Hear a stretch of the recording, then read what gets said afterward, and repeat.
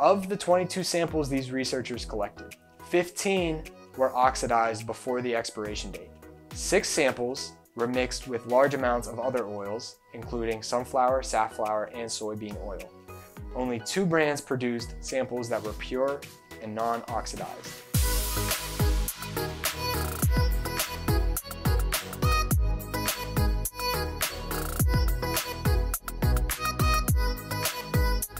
There was a recent 2020 study that showed that over 80%, 82%, according to this study, over 80% of avocado oils on the market are adulterated with fake oils. UC Davis researchers reported that, quote, at least 82% of test samples were either stale before the expiration date or mixed with other oils. In three cases, bottles labeled as pure or extra virgin avocado oil contained near 100% soybean oil, an oil commonly used in processed foods that's much less expensive to produce. Of the 22 samples these researchers collected, 15 were oxidized before the expiration date. Oil loses its flavor and health benefits when it oxidizes. Not to mention, it causes a lot of inflammation in your body, which happens over time and when exposed to too much light, heat, or air. Six samples were mixed with large amounts of other oils, including sunflower, safflower, and soybean oil. Only two brands produced samples that were pure and non oxidized.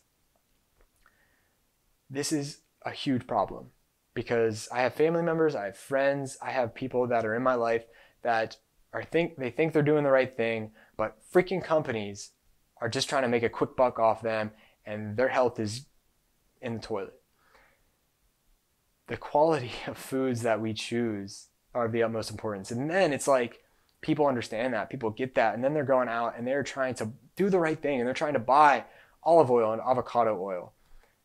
But they want to save money themselves. They don't want to spend a fortune. They don't want to spend $15 on a bottle of avocado or olive oil when they could spend $6 on one or even cheaper because it, it saves them money, right? Like I'm all about saving money, right?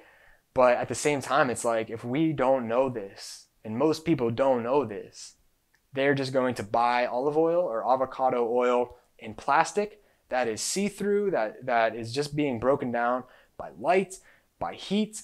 And then when they consume that, that is just causing a lot of oxidation inside the body. Not to mention, it's probably adulterated oil to begin with, then it's broken down, and it's just like, what is going on?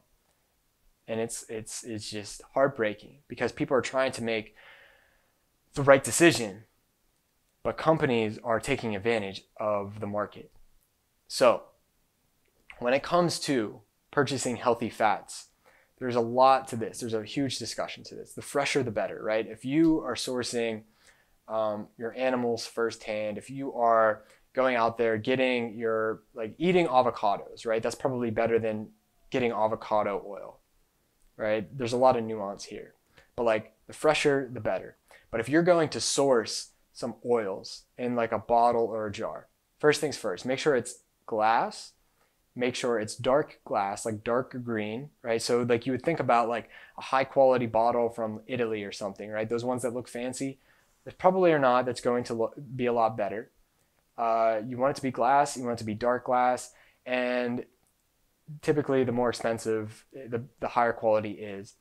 But when it comes down to it i really only trust a couple different brands when it comes to this. Now there's so many different clubs. Like you can join olive oil clubs you can join avocado oil clubs and you can have things shipped in uh, which is amazing. Like that's awesome. But if you're just getting it at your local store um, i look for a couple different brands. I'll link to those below. But the one that i use consistently is primal kitchen avocado oil extra virgin and non extra virgin, as well as Primal Kitchen extra virgin and non extra virgin olive oil. All that means when something is extra virgin, it just means that it was cold processed to retain more of the nutrients. Right? It's just more virgin, extra virgin. And so that's really all that means. So people will use their extra virgin olive oil that has more nutrients in it, more polyphenols, more uh, more of these beneficial things that we could be getting in in our fats they're using it to cook with, and then heat is destroying all those nutrients, which takes away the extra virgin properties. So uh, Primal Kitchen makes a couple different uh, brands. They make four, uh, two olive oils, two avocado oils. Extra virgin I use to drizzle on my foods, whereas the non, the just regular olive oil I will use for high heat cooking. Uh, typically the, the avocado oil I'll use for high heat cooking, whereas the extra virgin avocado oil I'll pour on my foods as well. But those are 100% pure. They're not adulterated. And there's something fun if you want to try this out. I've done this before and I kind of do it regularly, but you can drink it. You can take a swig of it, of the olive oil in particular. But uh, high quality olive oil will actually burn the back of your throat. It'll have like this nice little tin, ting to the back of your throat. And if you cough a few times, I think this is an actual thing. It's called like the cough test. But like the more you cough, the higher quality the olive oil is. So if you take like a shot of olive oil, it doesn't burn and it doesn't um, really have much of a taste to it and you don't cough, uh, that's probably soybean oil or adulterated with some other oil. But if you grab like Primal Kitchen olive oil, extra virgin olive oil, you're gonna cough a few times and it's gonna burn for like a minute. Uh, but it's definitely high quality stuff that I recommend. You can check it out, use the link below.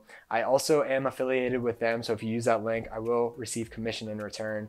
Uh, you can use code Craig10 and you'll get 10% off of everything there. But uh, there's also some other brands I'll link to below uh, that I may I might use on occasion in a pinch if I'm in a bind, but typically I'm always using Primal Kitchen uh, products.